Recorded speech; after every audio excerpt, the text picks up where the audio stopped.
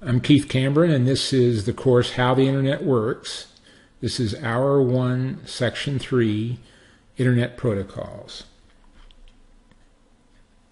Internet protocols um, really have three essential elements. The first part of the uh, protocol is really the message PDU. And in today's discussion, we're going to use an IP datagram as our message PDU. That is uh, equivalent to an API in a programming call, if you think about it. So it's a way of passing a data structure from one system to another uh, to invoke uh, procedures or an expected outcome. The second part of the protocol are the procedures, and those are really uh, procedures that are executed either in the host machine or in uh, routers along the way. They're equivalent to methods in a uh, object-oriented programming model. And then finally, we have the state information, the data that must exist in the host machine and the routers in order to be able to execute uh, the procedures and perform the routing. When people think about protocols, I think they normally think about the messages themselves without taking into proper account the procedures and the state information. But we'll start with the um, message PDU because uh, that tells us a lot about the protocol and how it operates. In um, IPv4, and we'll talk about IPv6 later in the course, uh, we have the message format is uh, illustrated here. It's really broken into two large segments the header and the data, or the service data unit that is received from the upper layer. So TCP or UDP would pass a service data unit uh, to the IP protocol, which would then encapsulate it as we've seen here.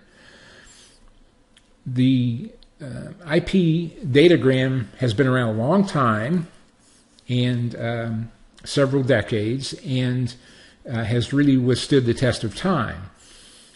In the uh, datagram itself, there are I've broken this down into three sections that can be uh, modified by different hosts or routers along the way. The beige section here, or the fields that are marked in beige, are really uh, ones that are provided by the user application, and we'll see in the procedures how that happens. So those are set by the user applications and should not be changed by the host uh, or the router. The fields that are marked with yellow are populated by the originating host. So remember, there's two hosts involved in a protocol message the originating host and the terminating host. So these yellow fields uh, should not be uh, changed by the router. The light blue fields uh, are set by the host originally, but the router may modify them in ways that I'll describe. So let's start at the uh, version and talk about that. The version is a, um, a field, uh, a 4 bit field, and by the way, these are octets. So uh, the IP PDU is really usually described in sets of four octets. Octet is the same thing as a byte. Communications engineers use the word octet, and software engineers uh, use the word byte, but they are the same, one and the same. So this 4-bit field version really refers to which version of the IP protocol we're using, and I'm describing IPv4 today, so we would expect uh, that bit to be set, uh, the, the fourth bit or the third bit from the least significant to be set, uh, indicating this is 4. Later on, again, we'll talk about IP version 6, but not today. The header length is the length of this entire header field. It's kept separate and distinct from the length of the entire packet um, because the, the header needs to be processed by each router along the way, but certainly the service data unit uh, should not be processed, nor does it even need to be examined by the routers along the way.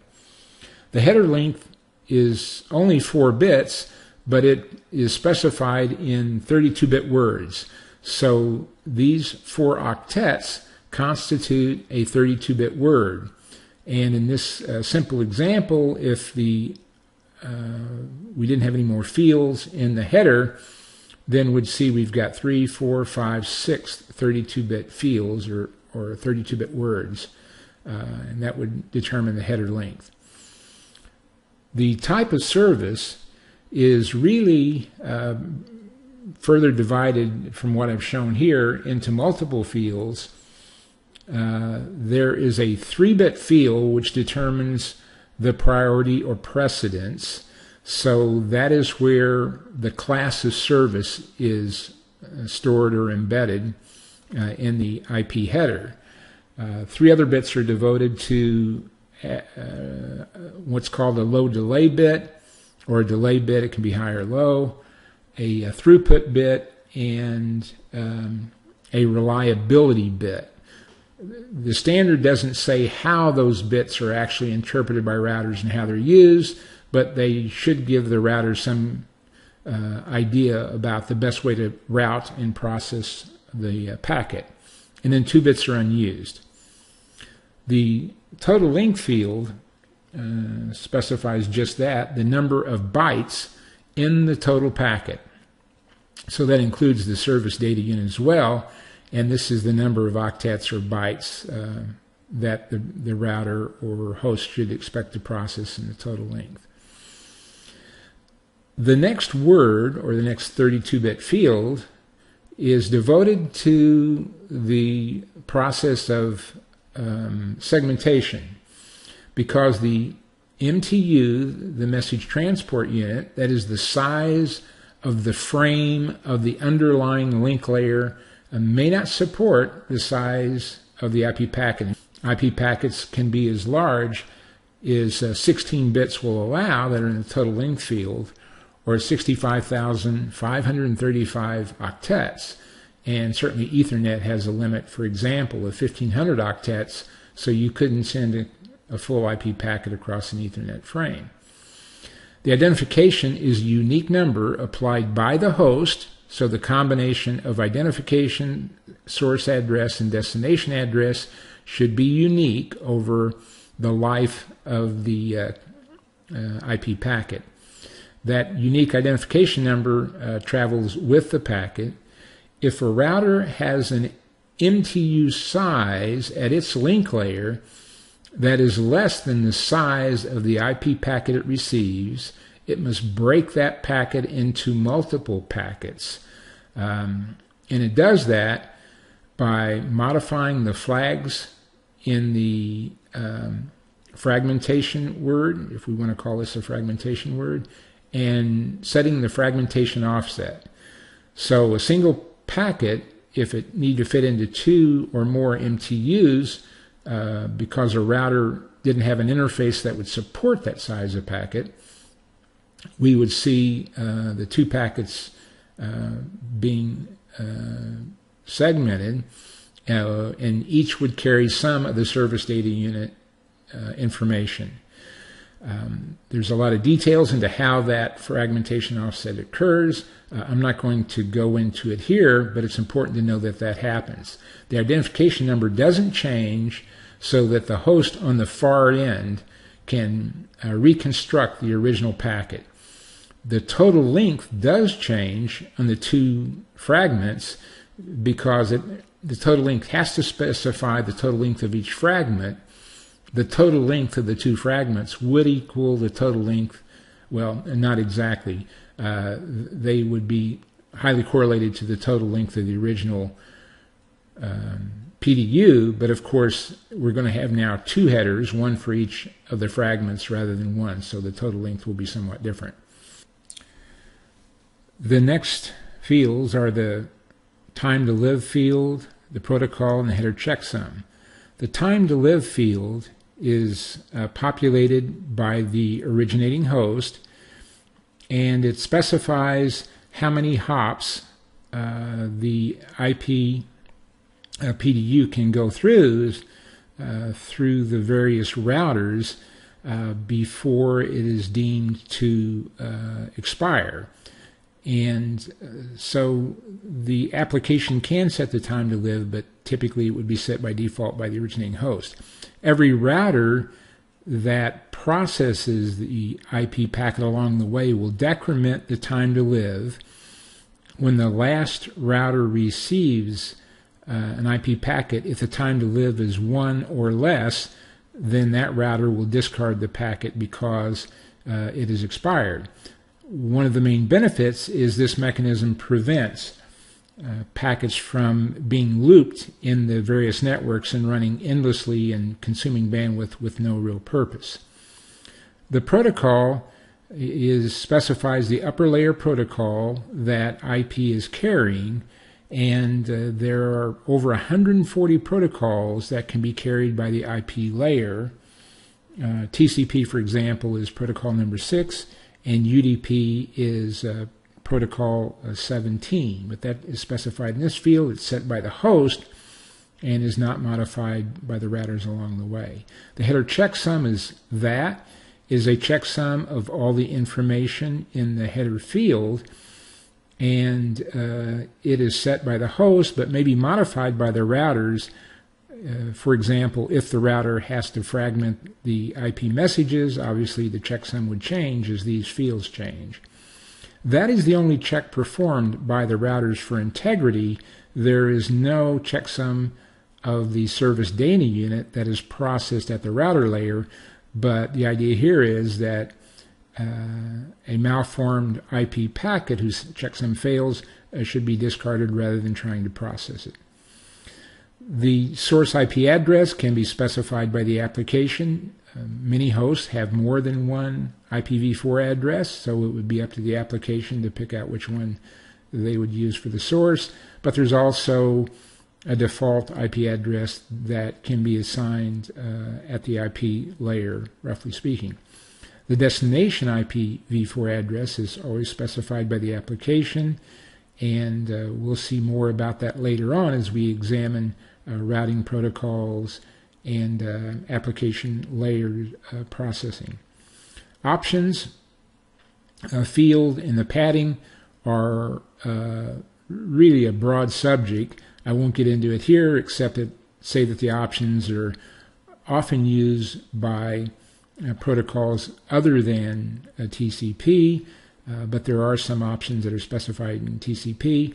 In general, the options aren't modified by routers, but there are some particular cases where they can be. So I, I identified it as a, a, layer of the or a portion of the protocol that could be modified by a routing. The padding fills out the option fills out the option field so that it uh, will meet the 32-bit um, requirement for an IP word. So let's take a look at some procedures now. We've gone through the packet me message PDU in some detail. Um, these are examples of procedures. The first two examples at the host are the send and receive procedures, and this is taken right out of request for comment RFC 791 from the IETF. Uh, the send example as we said, the source and destination IP address are specified in the send call. The protocol type uh, is specified here by the application. In this case, it might be TCP as an example. The type of service, which would determine the priority uh, of the message, um, and the time to live. Now, time to live isn't normally set by the application, but again, in RFC 791 goes back about three decades, and it shows that one could do that.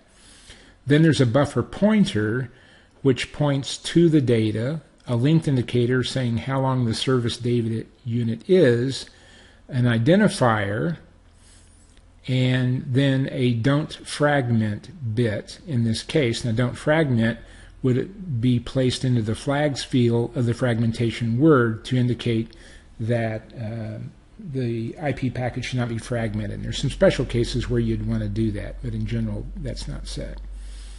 Other procedures are fragmentation, which we've already talked about, that can occur in the originating host. And of course, there's an assembly of fragmented uh, segments at the terminating host if that's necessary. Intervening routers do not invoke fragmentation assembly, but they do fragment IP packets so they can break them apart but not put them back together. And then, of course, there's routing, which is really the procedure that selects an outbound interface, and we're going to get into that in some detail in later sections. The same is true at the router. Of course, they have a routing function to choose an outbound interface. As far as state information, some of the state information is shown here. Uh, destination, which addresses are actually reachable, which is different than a routing function, which is selecting an outgoing interface. Uh, reachability is uh, somewhat of a different function. Layer 2 addresses, we'll talk about that next time. And then um, the, the router has a similar function. In addition, there's some upper layer protocols or different protocols we'll get into that talk about routing and congestion. These are suggested reading. I highly recommend Comer series. It is a classic, um, and it's been read by every uh, internet engineer uh, really that's come along. Uh, wonderful book, so I highly suggest you get it.